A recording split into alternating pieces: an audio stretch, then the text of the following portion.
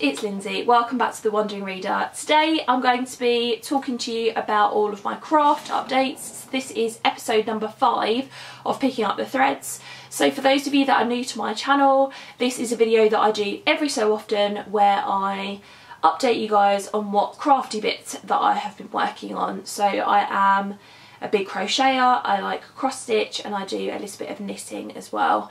So yeah, just a bit of an update on what I've been doing. It's been a while since I posted the last episode of this. I'm just looking down at what date it was. I think it was in March. So it's been a few months since then. And mainly that's because I've been working on this one particular project that I am not able to show you guys. It is a present for somebody who probably will watch this video and I don't want them to see it before I've given it to them as a present. So the next time that I do an episode of this I will talk to you about that particular present then. So I've been solely focused on getting this one thing done finally got it done and that means that I can turn my attention to other things that I can work on basically. So I don't have any finished objects to share with you. I'm just going to share with you a load of works in progress. The first work in progress that I've got to show you is works in this, which is um, Stylecraft Monet in the colourway Mountain Dawn. So, and that's what it looks like. It's a, um, what's it made of? A 50% premium acrylic and 50% cotton blend. Um, and I'm making the Summertime Tee by Toni Lipsey out of this. Um, the last time you saw it, I don't think was it was that different from what I'm going to show you now, but I'll show it to you anyway. So this time it has um, the sleeves on it, and I don't really know how different that is from the last time I showed it to you because it's been ages since I picked this up. Um, for no particular reason at all, just because like I said I've been working exclusively on that other thing um, so I haven't really had time to pick this up. But now's the perfect time to get started on it again because as the title suggests, it's the perfect thing for to wear for summer and I really want to do take it, want, want to wear it this summer and also take it with me on holiday as well. Um, really, really lovely pattern, really easy to get your head around. Um, I would say if you're a beginner, a complete beginner, you might find it a little bit challenging in terms of there are some things in here that you might not have come across but they're easily looked up on YouTube and things like that so I would say this is maybe for more of, of an advanced beginner um, but yeah really lovely pattern really easy to get your head around and I can't wait to get back to it.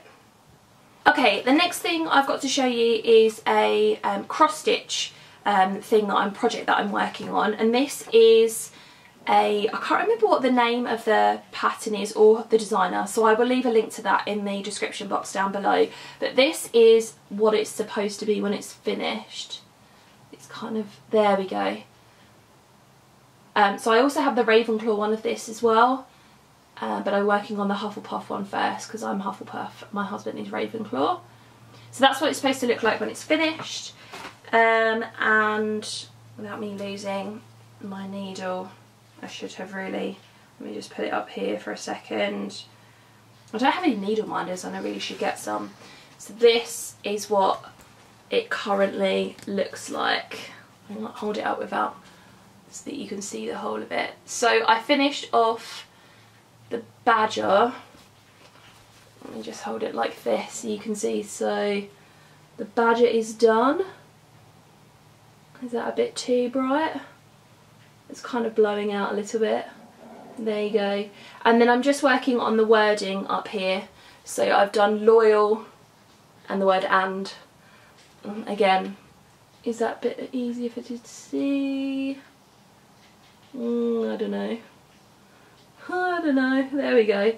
Um, yeah, and I'm just working my way through the letters basically. I was this was kind of like a morning project for me, so um, every time I eat my breakfast in the morning um, at the kitchen table I work on a little bit of a letter um, so even while I was working on the secret project um, I was still kind of doing a little bit of this in the morning so um, yeah really enjoying this and yeah it's another really easy pattern. Um, and yeah again can't wait to get that finished. I'm going to say that about everything in here. Okay, so I've darkened it a little bit up in here because the sun has decided to come out and it's been behind a cloud for like the entire day.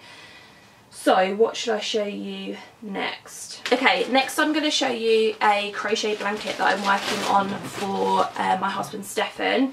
Ever since I finished my big massive um, patchwork kind of blanket, my beginner's crochet blanket if it were, um, if you will, um, he has been wanting me to make something for him and he's mentioned a blanket for the couch a couple of times. So I'm doing a granny square blanket but it's this kind of granny square blanket. So it's you start a granny in the middle um, and then you change colour every time you go another way around the outside. And this just grows into a massive square and um, yeah you make it as big as you want basically. So I'm just going to keep going until Stefan likes the size of it. Um, so I am using Stylecraft Special DK for this and I've picked out eight colours.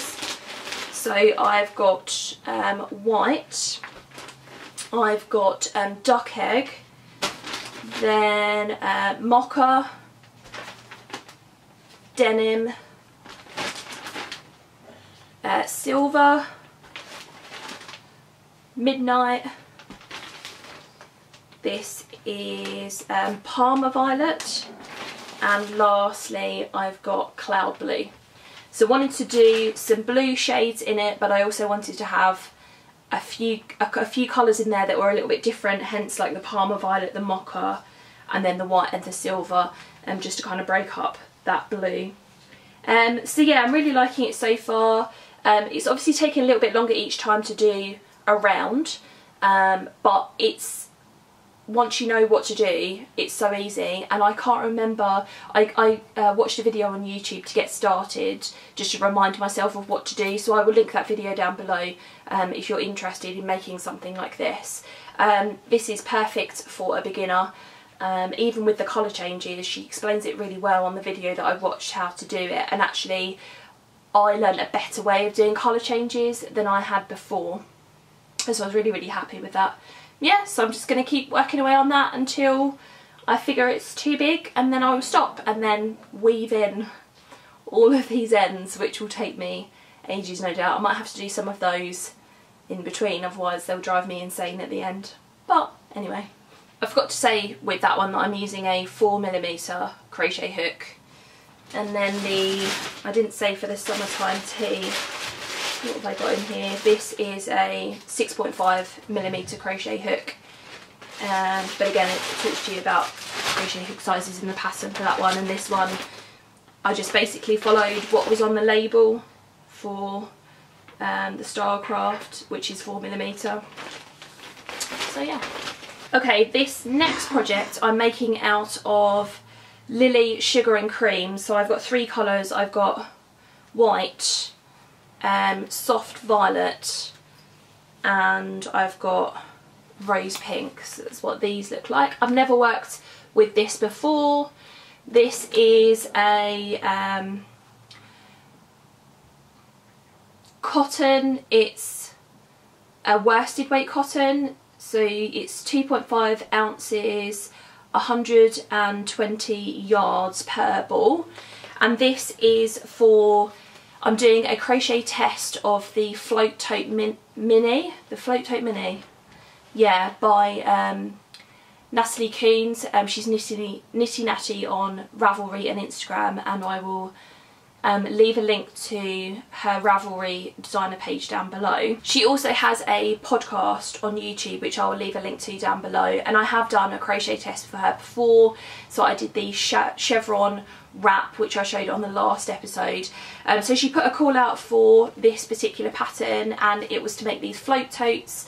So she has a larger size of this on her Ravelry page. Um, I've not made that one before but so this is for a couple of smaller sizes um, and I will hopefully have put a picture on the screen as to what these are going to look like um, and basically they're for projects um, well the larger one is designed to for you to kind of be a bit more organised if you've got more than one colour going on in a project at once or even if you just if you're like alternating skeins if you're using hand dyed yarn and things like that um, just to keep track of you know, and not have those um, different strands of yarn twisting up and things like that. So it's a really good idea. Um, this particular pattern test though is for um, a one it's a one skein tote and a two skein two skein tote.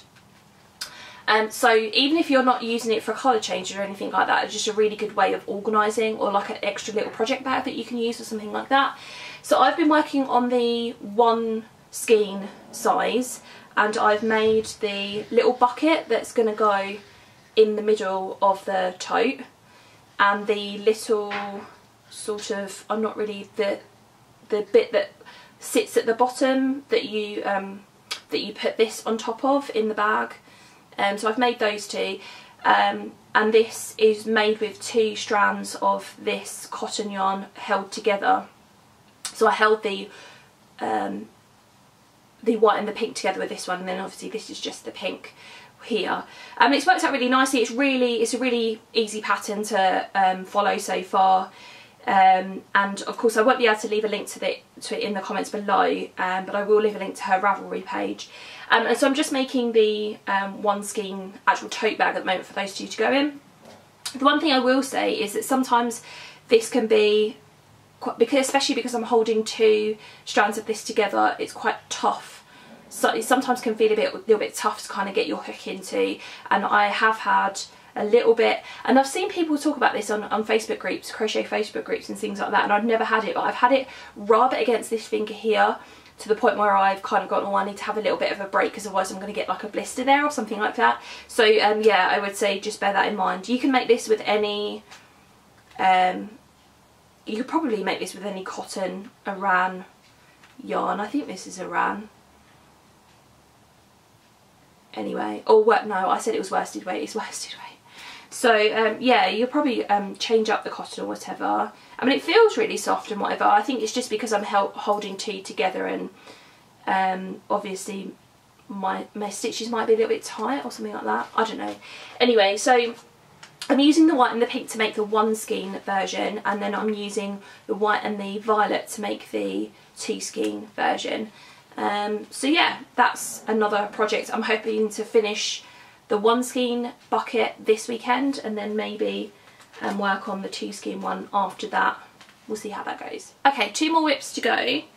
Um, firstly, I've had this obsession for quite a number of months now about being able to knit socks and um, sorry this is my drawstring bag that I made um, and I'm not really sure why because I'm, I'm a beginner knitter and I know that you know knitting socks is a bit more of an advanced knitting skill but I've had this obsession and I just I just want to learn how to make them basically. So um, I was making a pair of socks using a Tin Can Knits pattern and that was for a, a thicker yarn. I can't remember the exact weight of it. I think it was for an Aran yarn or it might have been a double knitting, something like that. It was, it was a thicker yarn anyway.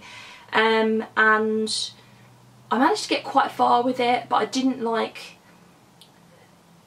it was it had this kind of knit purl pattern on the front of the sock and I the way that I was doing it meant that I was doing it on DPNs meant that there was always this kind of a little ladder between um, the end of the knit purl section and the beginning of the just knitted section and it looked a bit daft and I know people say that you know you should finish a project even though it's not going to be perfect don't try to make things perfect that's a really good piece of advice and I should really follow it but I'm like a massive perfectionist.